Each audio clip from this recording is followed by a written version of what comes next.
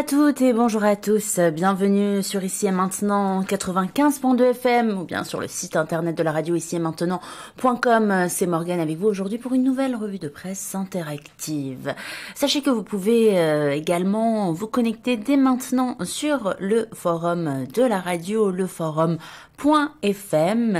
pour pouvoir participer et partager vos différentes réactions avec nous. Euh, concernant les différents sujets que nous allons voir ensemble tout au long de cette émission. Et sachez que vous pouvez aussi intervenir en direct en composant le numéro euh, du standard qui notez bien est le 08 92 23 95 20.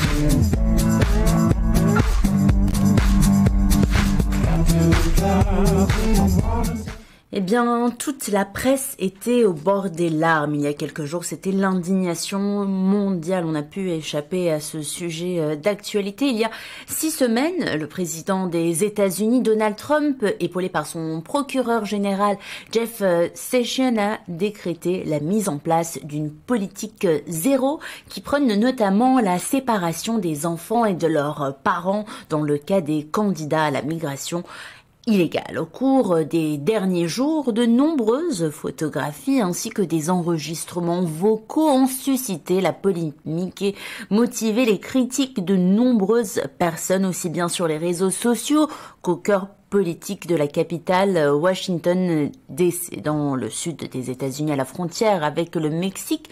Plusieurs camps de détention accueillant des mineurs étrangers ont été érigés. Au Texas, on retrouve des camps faits euh, de tentes dans lesquels les enfants sont détenus. En Floride, c'est cette fois dans d'immenses cages érigées dans des entrepôts que ces jeunes migrants sont euh, confinés. À noter que dans ces deux États, la température dépasse les 30 degrés. Euh, face aux critiques de sa politique, l'administration Trump a dans un premier temps décidé de nier les faits. La secrétaire à la sécurité intérieure a notamment déclaré que le gouvernement n'était pas en faute, mais que c'était les immigrants illégaux qu'il fallait blâmer. Ceux-ci, fuyant souvent la mort dans leur pays d'origine, seraient responsables de leur séparation avec leur enfant, selon Nielsen, donc secrétaire à la sécurité intérieure, euh, selon elle, donc, euh, s'ils voulaient garder avec eux leur enfant, ils n'avaient qu'à rester euh, chez eux. Par la suite, les plus grands défenseurs du président Trump se sont mobilisés contre les critiques fusant de tous les côtés. Steve Dossi, l'un des présentateurs de l'émission révérée par le président Fox Friends, a décrété que les enfants n'étaient pas détenus dans des cages mais se trouvaient simplement à l'intérieur de clôtures en maille, une nuance selon lui très évidente. De son côté, la présentatrice conservatrice Laura Ingram a comparé ses camps de détention à une colonie de vacances, tandis que son double, Anne Coulter, martelait que les bébés en plusieurs étaient en réalité de jeunes acteurs. Donald Trump, pour sa, part, pour sa part, a bien fait une déclaration à la presse dans laquelle il a décrété, je cite, je déteste le fait que les enfants soient enlever à leurs parents. Les démocrates doivent changer leur loi, c'est leur loi. Fin de citation. Cette politique a pourtant été euh, mise en place par le président républicain et elle est euh, refusée par les démocrates qui, euh, minoritaires au congé, ne disposent d'aucun pouvoir d'action.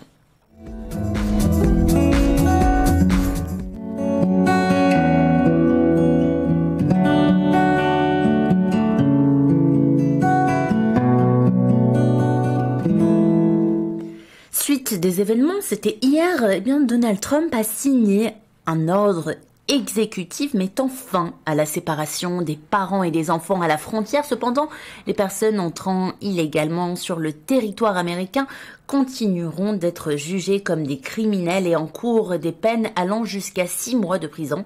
Les enfants seraient donc envoyés en prison avec leurs parents. Ce décret pose aussi la question des milliers d'enfants déjà séparés. Rien dans l'ordre exécutif ne promet une euh, réunification des euh, familles. Eh bien, euh, une, un revirement assez spectaculaire tout de même de la part de Donald Trump. L'horreur d'abord et un geste humaniste. Après, euh, ça a violemment secoué euh, l'Amérique et on n'a pas pu échapper donc à ce sujet d'actualité.